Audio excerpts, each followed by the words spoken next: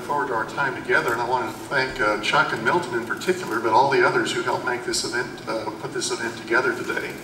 And uh, I, have had some uh, good lunches with, uh, with them to talk about United Methodist Men. Uh, that was the term that we were talking about at the time. But, but also the, the just, just some of what's going on in the Life of the Annual Conference and in men's ministry in, in particular. I, I also want to just begin by um, expressing my appreciation to each one of you for taking the time to give up a, a pretty full day when I'm sure you had many other things you could do, but to do, uh, but to spend time focused on discipleship and especially discipleship with men and how to strengthen the men's ministry in your church and in your community. So that represents a love for Christ, a love for the church that, uh, that I honor and respect. And so thank you for that.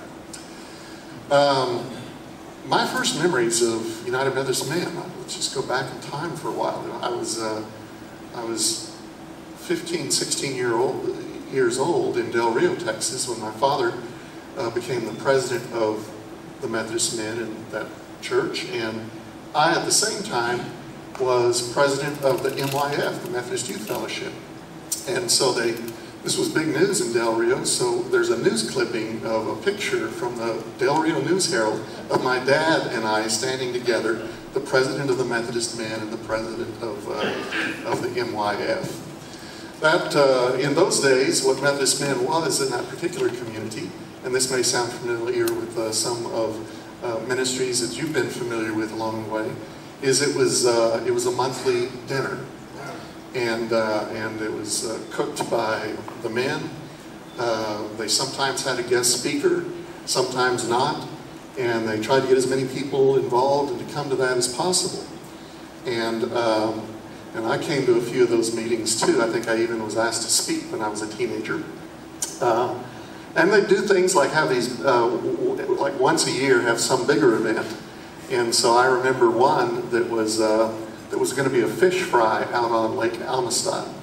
And uh, how it was going to go is we were all going to get in boats and go over to an island where they'd have all the grills and stuff set up and ready to, to go.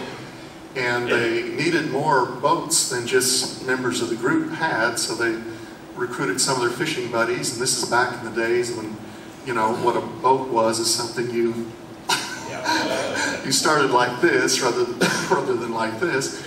And uh, and so one of these folks who's just, you know, a, a fisherman and friend of somebody, he, um, he couldn't get his boat started.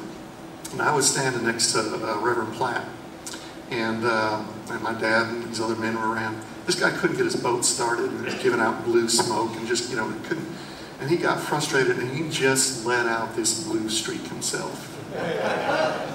and uh, and everybody immediately looked at Reverend Platt and then me, because I was the youth. uh, as if I hadn't heard some of that stuff some places before. But, uh, and, and Reverend Platt uh, looked over me and said, you know, sometimes people just have to talk to things to get them to work.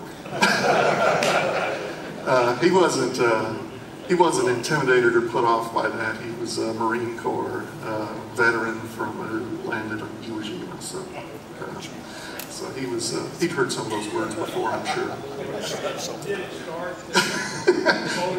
it started. We, we, we got there somehow.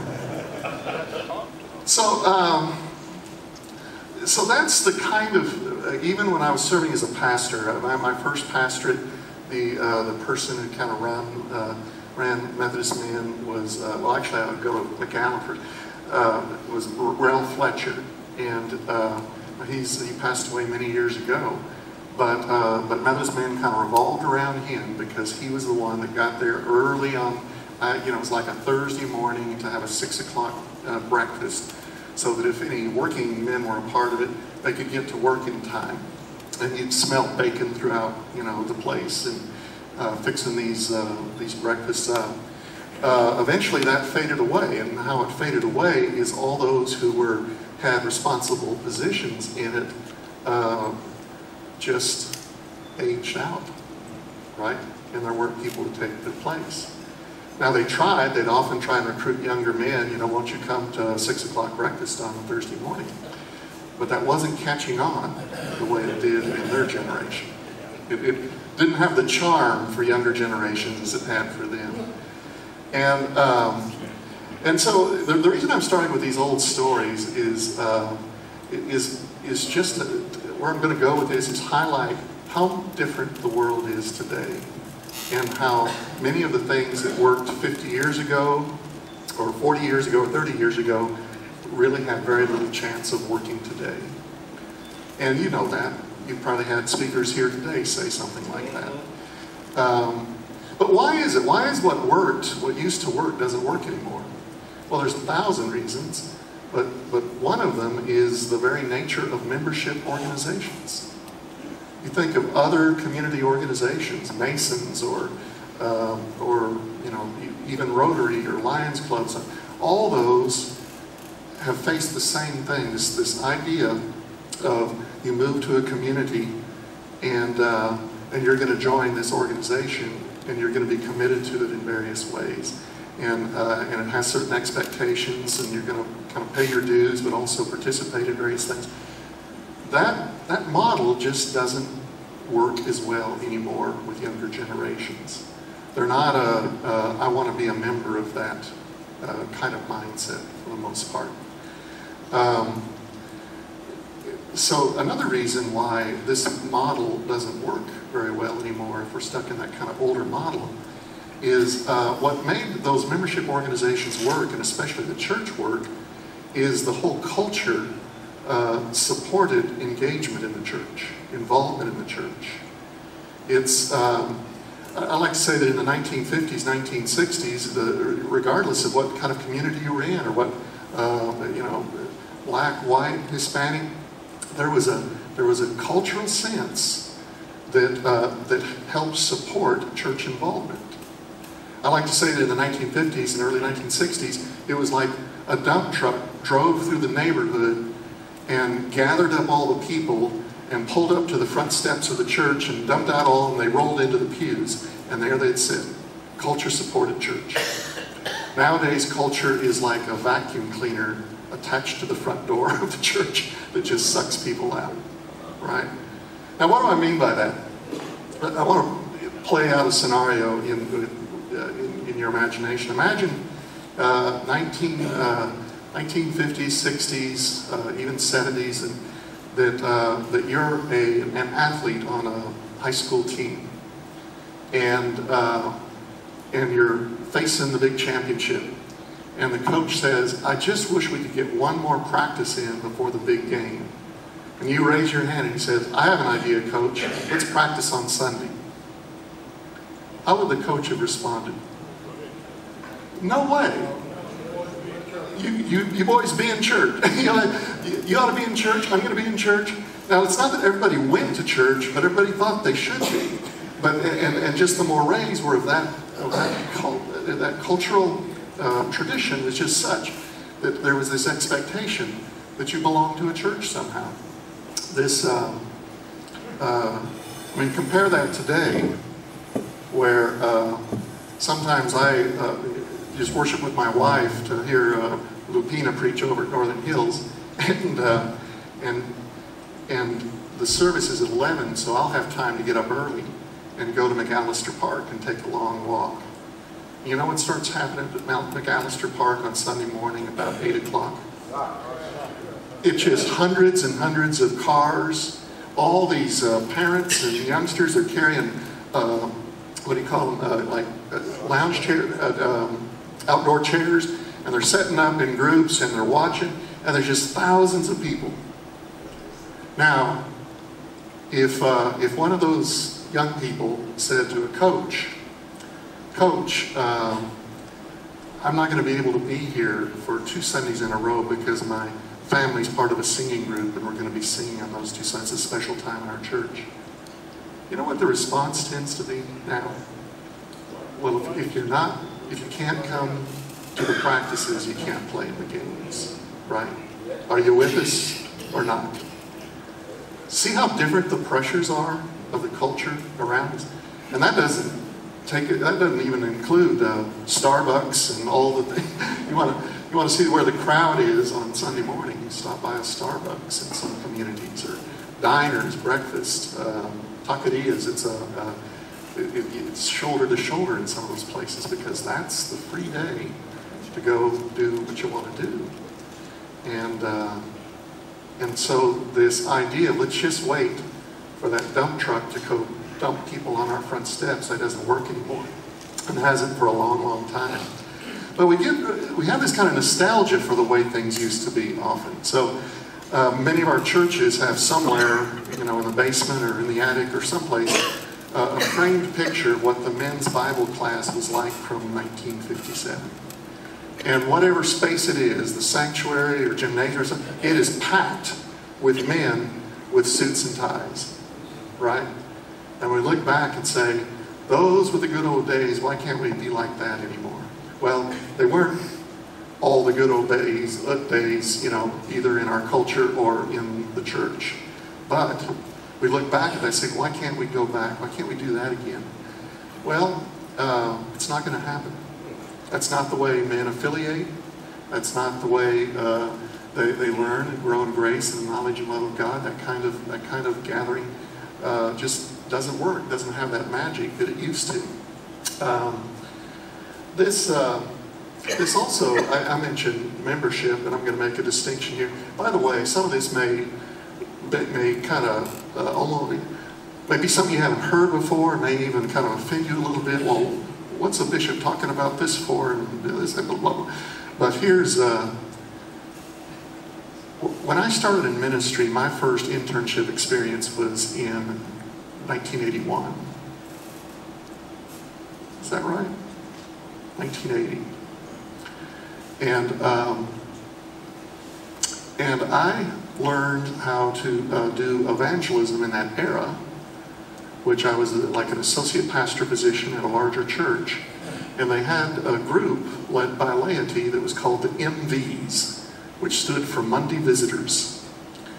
And what would happen is on, uh, is on Monday evening, a group of about six or eight lay people would gather in, uh, in this woman's house, and she would have gone through the registration pads the day before, and she would have who the visitors were.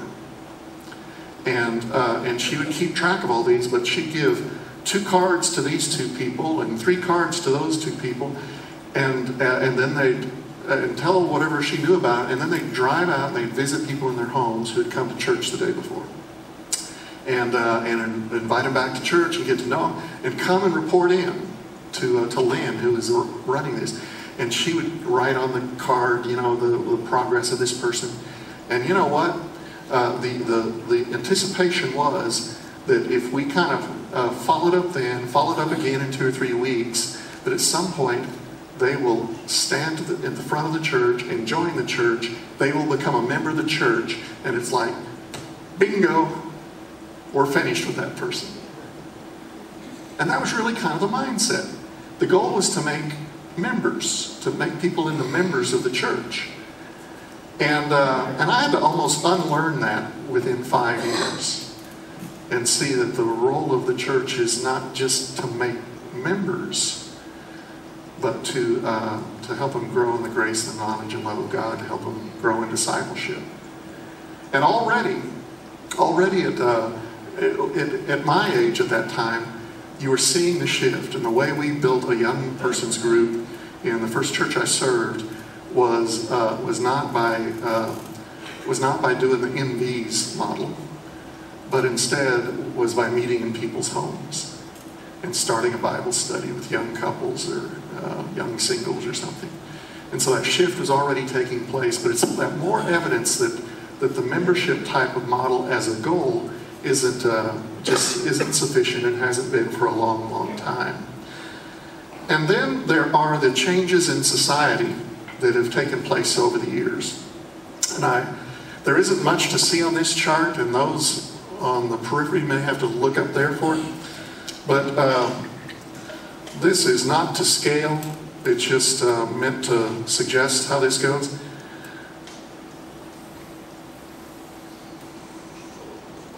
You don't want to invest in that company? No, that's just a joke. So that is uh, that's the general trend of uh, participation in uh, Christian churches and any, in, any religious institutions uh, over about a 50 or 60 year period. Now, there was a time, Sylvester, we used to talk about this being, main, we, whenever we draw a chart like this, we talk about the mainline denominations, you know, Methodist, Episcopal, Lutheran, and stuff. Now it's virtually all generations, and a matter of fact, it's most faiths. For the first time in surveys uh, done by uh, the people that research this kind of stuff, the largest uh, religious affiliation are nones. Not N-U-N-S, like the habit, but the people who, what's your religious affiliation? Mark none. Right? Um, and a subtotal of those nones are what I call dones. They're done with church. That something has uh, has uh, rubbed them wrong about church, or they've been hurt, or they have a friend that's been hurt by church, and they're just not coming. They're done with church. And so, everybody under this line in this little drawing are folks that still affiliate with churches, and the numbers going down, and who still value uh, belonging to communities of faith. Uh, but the trend has been going down. Now, everybody above the line uh, are, are folks that don't, many of whom cannot imagine seeing themselves crossing uh, the threshold of a church and going in a church building. Are you with me? Yeah.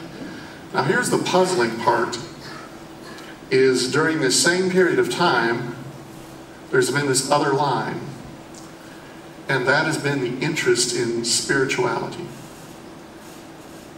the interest in the interior life, the interest in service, the interest in doing what it takes to have, a, to have an inner peace, the interest in doing what it takes to, have a, to, to, to serve and make a positive difference in the lives of other people. That has grown during the same time that church participation has gone down. Um, so that creates some interesting things on this chart.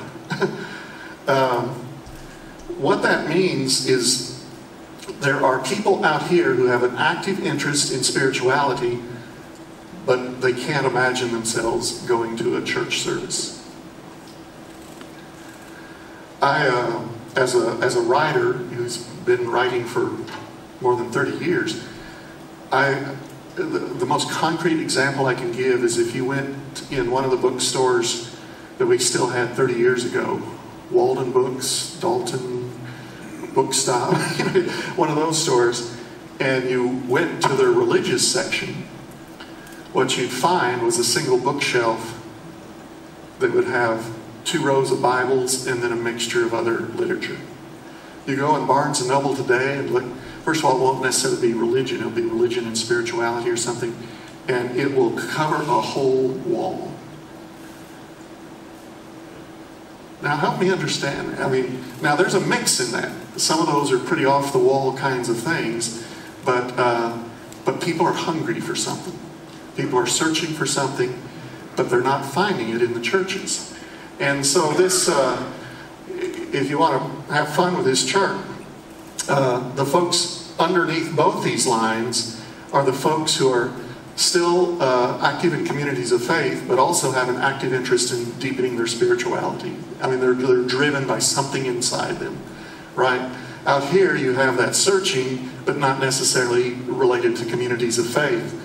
Uh, in this part right up here, well, those are folks that just kind of don't care either about the church or about spirituality. It's just not their thing, okay?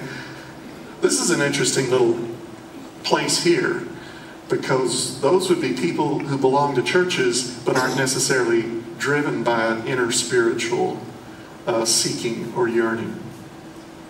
As one writer called them, um, they're kind of citizens of the church. They kind of come to church to fulfill their duty. They're going to help out when they can, but they're, but they're not really investing a great part of themselves to deepen their faith, right? So these are some of the dynamics that we, uh, that we face now.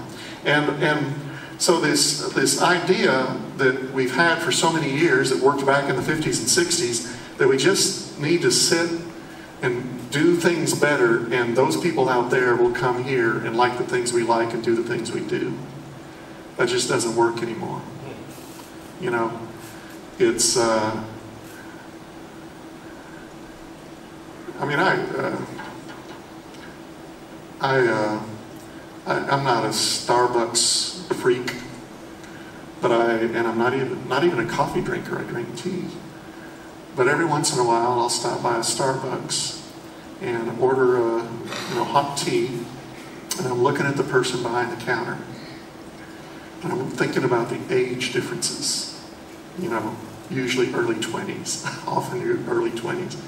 I'm thinking about the other kind of cultural differences, uh, interesting tattoos and piercings and, and, and uh, hair haircuts and say, and I'm thinking all the things that make this person's life so different from my life, right? And uh, and I think so in my own heart and soul when I'm thinking about this person's well-being and, and my hope and prayer that uh, sometime they'll uh, they'll have some kind of experience that will help them uh, grasp or receive God's grace in some way, right? What am I really hoping for? I'm hoping that this person that I just described wakes up some Sunday morning and instead of going to work says, you know, I just had this epiphany, this amazing moment when I realized that I have deep inside myself this lifelong hunger for for uh, organ music with a special focus on Wesleyan hymnody. Right? Where can I find a church like that? And so they, they leave their job and say, I can't work on Sundays, and they start driving around to find a church that does it. Is that ever going to happen with that person? It's just incredibly unlikely, right? That is no judgment on organists or choirs or traditional churches or whatever. It's just that whatever causes that person to deepen their spirituality and maybe even take a small step toward the church, it's going to be some slightly different expression of church than what formed most of us in this room. Um, it's a different day. So these folks are interested in spirituality. They're even, interestingly enough, interested in Jesus, but not necessarily the church. They even have an interest in the Bible sometimes, but not necessarily showing up on Sunday morning. And boy, that just makes us, it's hard for us to get our minds around because our every instinct is to invite them. Now, everything I'm saying about church also applies to some kind of form of men's ministry. That if what we're thinking is, uh, we just have a better program, the young men that work in Starbucks are going to come to their senses and come listen to what we present. That's not really going to happen that way. It's going to take a lot of kind of creativity and a lot of this, uh, instead of waiting for them to come to us, thinking about how can we go to them, how can we, how can we form relationships that are meaningful, uh, sustaining, that, that causes, that, that, are authentic, that causes some element of trust so that, uh, so that we can explore deeper things. When I was serving uh, the church in McAllen, I remember uh, uh we uh, tried to launch a new young adult Sunday school uh, class, and this was this was many years ago now. Um, and we we sent out all kinds of things to the university that was near us. We, uh, we accumulated all kinds of names of younger people in their 20s and 18 and out 18 and 25, just sent out all kinds of notices. And we got some young, cool person to, uh, to kind of teach it. And, uh, and they just, uh, and after like this list of 80 people, like 30 show up at a, at a, a home dinner, like a barbecue or something, just to introduce and say, hey, we're starting this class and then uh, and then they start the first Sunday school class, and you know 9 9:45 on Sunday morning, and about 10 of those 50 would show up, and the second week, you know, five, and the third week, uh, two, and then it's really started going downhill. And uh, and we had to stop and think about what were we asking these folks to do. We're asking folks that had very little nominal church relationship to shake up your schedule, come into a place that you feel entirely uncomfortable about, uh, go upstairs and follow signs, sit around tables, and pull out a Bible that you're unfamiliar with and, uh, and start a discussion about personal things. That's just a, that's a huge leap, isn't it? But that's the way we, that's the way we got into this when we were young, but it's, it's not working that way anymore. So, uh, so this means we've got to be uh, thinking about other ways in which we form. Oh, let me finish that uh, that story. So some months later, we tried exactly the same thing with exactly the same results. And then uh, a couple stepped forward who are in their 50s, lower 50s, and they'd say, "We'd like to start a group for that same group, a, a kind of, some kind of gathering for that same group, and we'd like to." Uh, uh, we'd like the blessing of the church to do this. Uh, they were well-respected folks. Of course you can do this.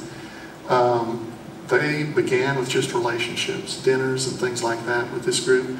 And what was interesting is how, though especially young couples, just attached to these folks who are in their 50s. Because many of them wanted to have a relationship with someone who had more experience in life, with marriage, with work, with children, with starting a family. They wanted, they wanted a kind of life mentor, spiritual mentor, um, but they weren't finding that in their own parents, mostly because they were the children of their parents, and, and often that's not the place to find it. So they started this, and it just uh, it began to uh, to really thrive. Um, nowadays, there are all kinds of approaches toward uh, toward this. There's a uh, I remember someone saying uh, they uh, they had a neighbor move into their neighborhood, and and the first thing they did was had somebody new move into their neighborhood. The first thing they did is invite them to church. And the people, we're not church people at all. No way. I mean, it was just, it was cold and abrupt. Um, sometimes later, sometime later, they, um, they had this idea of just inviting a few of the neighbors together in their home for dinner. And when they did that, they opened that with a prayer and then closed it with anybody have any prayer concerns. And this couple came, right? Uh, we, we'll have so much fun. Let's do it again next month. And what evolved is pretty soon taking a book or a scripture story and discussing it some after dinner and then having prayers. It's like it formed a little church. And the same people who said, No way am I going to church, we're not church people, were beginning to relate to the body of Christ. There's a book uh, out there called The Art of Neighboring. Some of you have heard me mention it before. And uh, and the real clincher in this is this chart that's uh, that's rather convicting that he has you draw. The the authors have you draw, and so there's nine uh, nine squares here, and in the middle is your home. And this square represents the people who live across the street from you. This one, the people who live to the right of you. This one, the alley behind you, and then cattywampus. So there's eight people there. Now you can do this with an apartment. Uh, not all, you know, not all. Uh, they have ghost lighting. I was told when I walked in today. So if that comes and goes, it's not part of the light show that supports my presentation. but they uh, they have you draw out these eight boxes, and then they have you uh, answer three questions about each box. Number one, do you know their names? of the people that live right there in relationship to you. Do you know the names of people that live behind you? Uh, sometimes people do pretty good. They get four or five of those. The second is, do you know anything about them that you would not just uh, glean from seeing them, uh, you, you know, across the driveway? In other words, you see them come and go, so you know what kind of car they drive. You maybe know they have two kids and a dog, but but is there any other information you know that you could not just obviously see? Okay? And then the third question is, have you had a conversation or an experience with them. That's the eight people, families, couples, whatever, that live in your immediate vicinity. Now, some of us are uh, no longer spring chickens, and maybe we've lived in the same location for 30 years, and so they say, well, everybody knows their neighbors, all their neighbors, right? But you know, when people do this test, um, this little quiz here, it's something like 2 to 3% that can fill in all eight boxes with that information. I know their name, I know a couple of things about them, and we've actually had a conversation. Well, I'm, where I'm going with this, I'm going to chase the light here, is, is that um,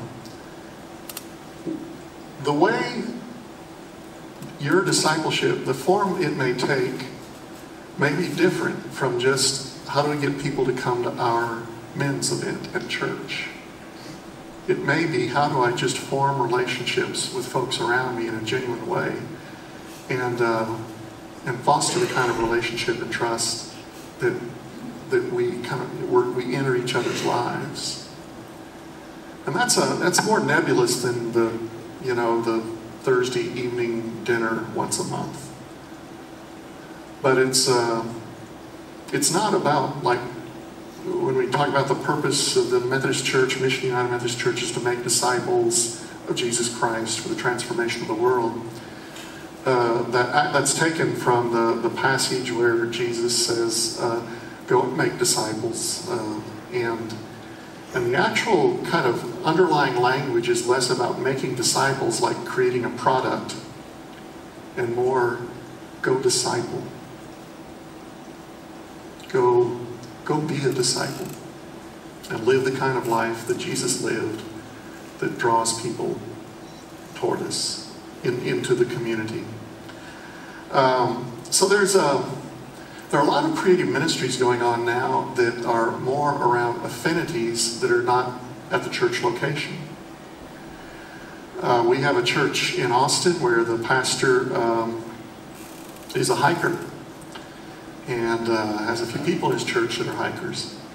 And I forget what they call it, but uh, but like twice a month, he sends out over the internet in all these hiking groups, not church groups, but all these hiking uh, networks. That hey, at three o'clock we're meeting uh, on Sunday at this particular state park or this particular place, and it'll, be, it'll change up. And then when they get there, it's this kind of gathering of people uh, some have been there before and others who this is their first time, they're just responding to it. And what they do is they, uh, they like read a scripture or a thought and then they talk about it as they climb up to wherever they're climbing. And when they get there, they have some simple lunch and they, uh, they talk about, among the whole group, about what they talked about when they went up the, the mountain, you know, hill by hill, I mean, uh, two by two and then um, and then they uh, uh, they have a prayer, and uh, and they walk back down the trail, uh, kind of two by two, to continue any conversation that they want to have about it. Does that count as church? Well, uh, it's it's not eleven o'clock worship, but as far as deepening faith, making connection um, we're, we're not trying to make members out of people, quote unquote, so much as help them in their discipleship. There's, a, there's another church I'm aware of that uh, had a men's group that, um, that would meet each, uh, each one, one day a week in the evening, and they were kind of trying to think of the best place to meet, and they would just get together and it was kind of a Bible study, pray for one another group. It was fairly informal. Um, many of you have been a part of those. You're probably a part of those now. And this particular group, as they were thinking about where to meet, the church hosts this, uh, uh, has, a, has like a, a basketball court where uh, certain evenings it's just full of young men in, various leagues of, and, and, we're talking about not high school or middle school or something, we're talking about uh, college age, 20s, uh, young marrieds, I mean, just a mix of folks, where that just, this little, this gymnasium area just fills up on that day. And, uh, and so one of the men had the idea, why don't we do our Bible study uh, where we're right next to that and where we see them, we, we talk to them coming and going, they see what we're doing, and let's just, we're not going to go out there and pull them off the basketball court and say, come to Bible study. What they're going to do is just be a men's group, be a men's Christian community in the presence of these younger folks. And what happened as time went on is, uh, is, is, it was very intentional that they would spend time greeting and welcoming the, the men that were coming to play basketball. Uh, when they'd ask, well, what are y'all doing in there? They'd say, well, it's a time of prayer and, and, uh, and scripture, and if you want to join us, you're, you're invited. And so this, this, this suddenly started um, happening that, that, that they were reaching men in a whole different way than they had before, simply by thinking, where are the young men? and, and how can we uh, kind of bear witness to who we are uh, in their presence and to, uh, and to show them the love of Christ? I, uh, it, it's, some of this takes getting back to what, um, what the purpose is of any of the groups that we try to put together in a church. Um, why do we why do we think that group ministry of some sort is valuable?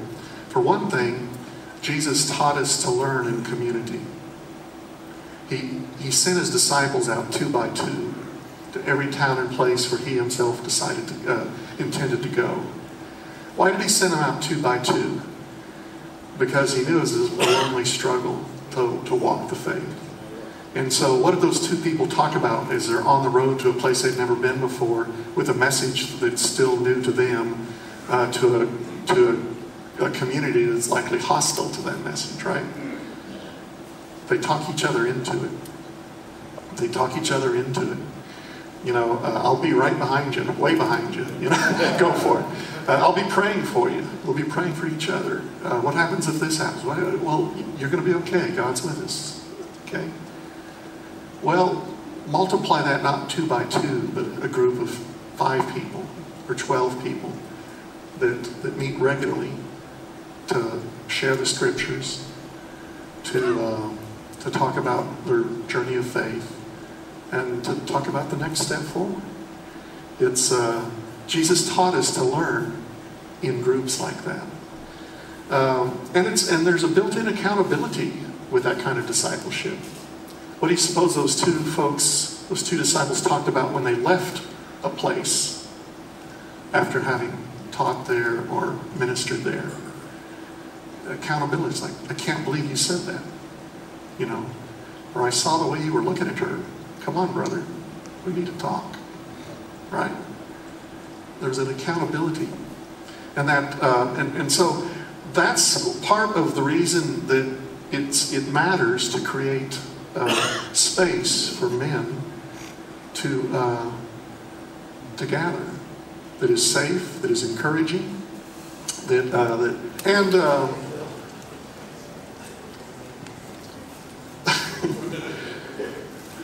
it's another thing that people are, are searching for. It's not just community, but it's uh, in spirituality. Like, what's the meaning of this? Where am I going? Why is this matter? It's, it's that they want to live a life that matters. They want to do something that actually makes a positive difference in the lives of other people. And that's why uh, so many uh, service projects, the, uh, many of the strongest elements of men's ministry in the churches I've served were the relationships that were formed by people who were active in the church and people who had very little relationship with the church as they were drawn into a common project, as they were working on wheelchair ramps, as they were working in disaster relief, as they were actually uh, doing something like that. Um, it's um, uh, it, I can I, you know I can still picture the people and name some of them who the only thing they participated in our church, I was at the same church for 16 years, was to show up with gloves in hand, toolbox, and to work alongside other folks. Now, sometimes when I talk about those kinds of examples, you're saying, well, wait a second, mean they didn't come to church? Well, the choice, especially in younger generations, when I talk about the hiking trail and the, the basketball thing, the choice isn't would we rather have them in church rather than talking to men at the basketball court or taking the hike or being on the work project? It's rather, would we rather have them taking the hike, working on the work project, or talking at the basketball uh, game, or nothing?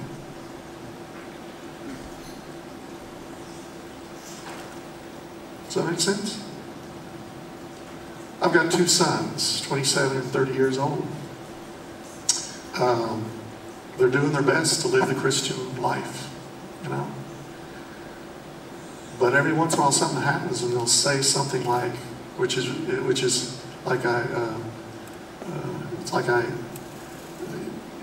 it kind of hurts almost as a, being a bishop and a pastor today, of, you know, say, it's already so hard to be a Christian and be young.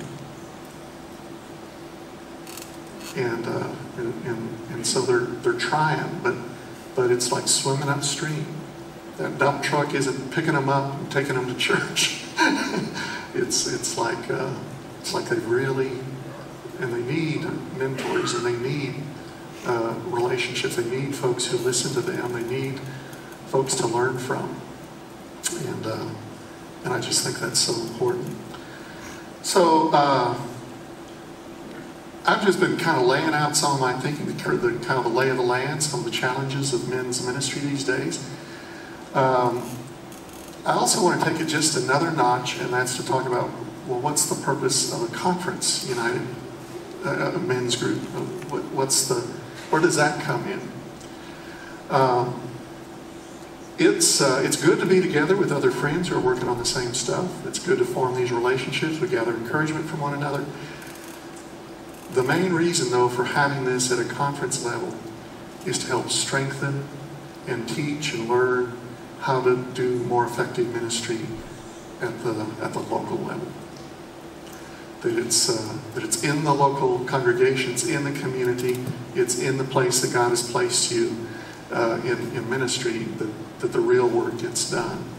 And when we come to these events, it's to learn and sharpen up and be encouraged for doing things a little differently uh, back at home. Um, it's a privilege to serve as your bishop. And I appreciate uh, all that you do. I give God thanks for every one of you. All that you do for the United Methodist Church, for the purposes of Christ.